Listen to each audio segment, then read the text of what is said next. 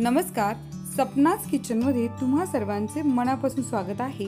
आज आपण साबुदाण्याच्या चकल्या करणार आहोत आणि या साबुदाण्याच्या चकल्या कुरकुरीत आणि कुसकुशीत कशा करायच्या ते आपल्याला इथे डॉक्टर हेमलता गुंजाळ दाखवणार आहेत आणि त्या वर्षभर कशा टिकाव्यात हेही आपल्याला त्या इथे सांगणार आहेत.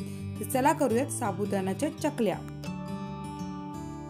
चकल्यांसाठी लागणारं साहित्य सर्वात प्रथम आपण इथे साबुदाणे भिजत टाकणार आहोत. साबुदाणे आपण रात्रीच भिजत टाकायचे. अर्धा किलो साबुदाणा एक किलो बटाटे उकडून सालं काढून घेतली तिखट चवीप्रमाणे मीठ चवीप्रमाणे आणि एक तांब्या पाणी.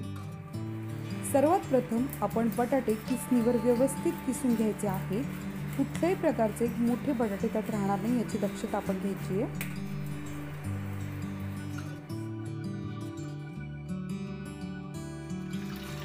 एका पातेल्यामध्ये एक तांबे पाणी टाकून घ्यायचे. त्या पाण्याला व्यवस्थित उकळी येऊ द्यायची. उकळी आल्यानंतर आपण भिजवलेला साबुदाणा त्याच्यामध्ये टाकायचा आहे.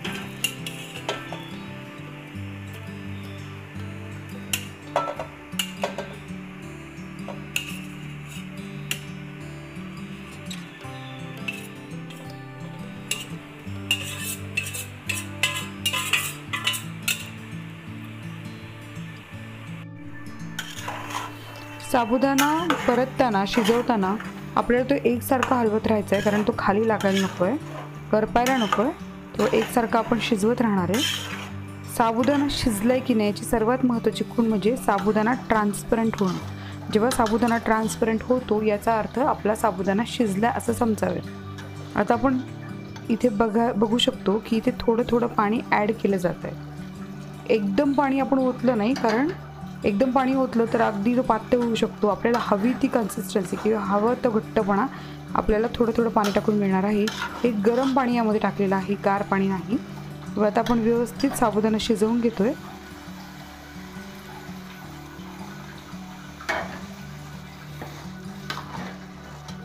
परतण्याची क्रिया एकसारखी करावी लागणार आहे.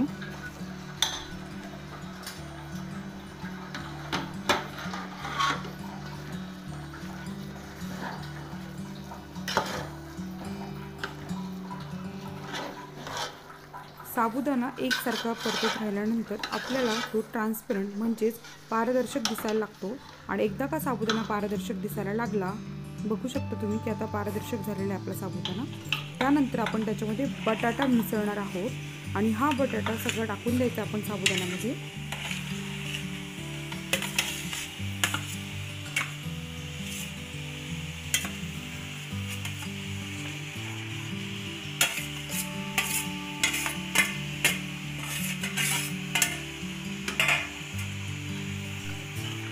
बटाटा आणि साबुदाणा आपण व्यवस्थित एकत्र मिसळून घेणार आहोत.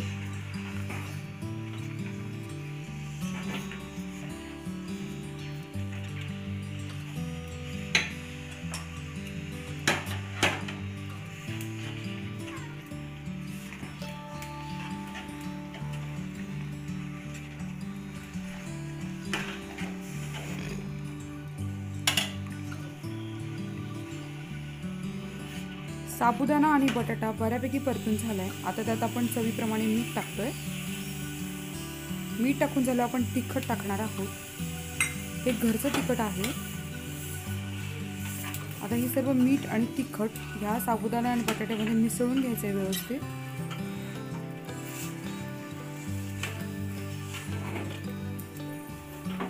हे सर्व मिश्रण व्यवस्थित एकत्र करणं गरजेचं आहे. त्यासाठी आपण इथे लाटण्याचा वापर केलेला आहे आणि याच्यामुळे सर्व एकजीव व्हायला मदत होते. कारण हे करायला खूप ताकदीचा वापर लागतो. त्यामुळे आपण व्यवस्थित एका हाताने पकडणी पकडायचं आणि दुसऱ्या हाताने लाटण्यानं व्यवस्थित मिक्स करून घ्यायचं आहे आता आपण सोऱ्या घेतलेला आहे. हा चकली काढायचा सोऱ्या आहे आणि याच्यामध्ये आपण प्लेट फिक्स केली आहे. बाजारामध्ये स्टीलचे पितळाचे सोरे मिळतात. तर आपण याच्यामध्ये चमच्यानं पीठ टाक मिश सारण टाकतोय मिश्रण टाकतोय. कारण हे खूप गरम आहे. गरम गरमच आपल्याला भरायचं आहे सारण सारण सोऱ्यामध्ये आणि चकल्या काढून घ्यायच्या आहेत.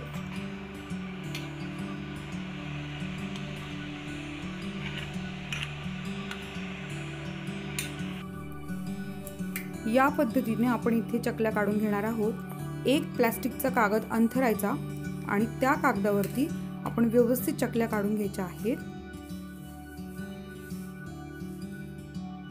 अशा प्रकारे आपण सर्व जे मिश्रण आपण तयार केले त्याच्या चकल्या काढून घ्यायच्या आहेत.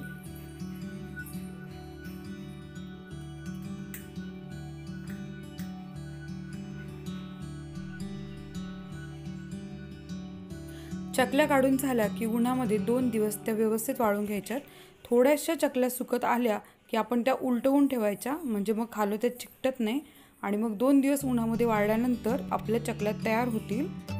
आपल्या चकल्या आता छान तयार झालेल्या आहेत. बघा कशा कडकडीत उन्हात वाळल्यात. मस्त दिसत आहेत ना? अशा कडकडीत उन्हात वाळलेल्या चकल्या.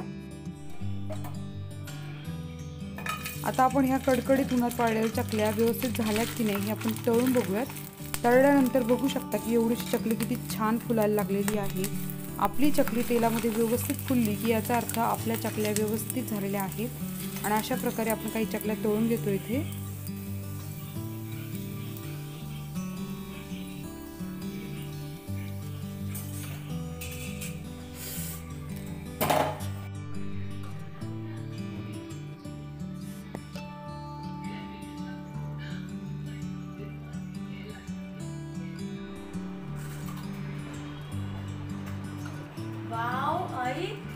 मावशी किती सुंदर झालेलं आहे. ह्या चपल्या खूप सुंदर झालेल्या आहे तुम्हाला जर हा व्हिडिओ आवडला असेल लाईक करा शेअर करा कमेंट करा सबस्क्राईब करा आणि बेल ऐकून दाबायला विसरू नका. बाय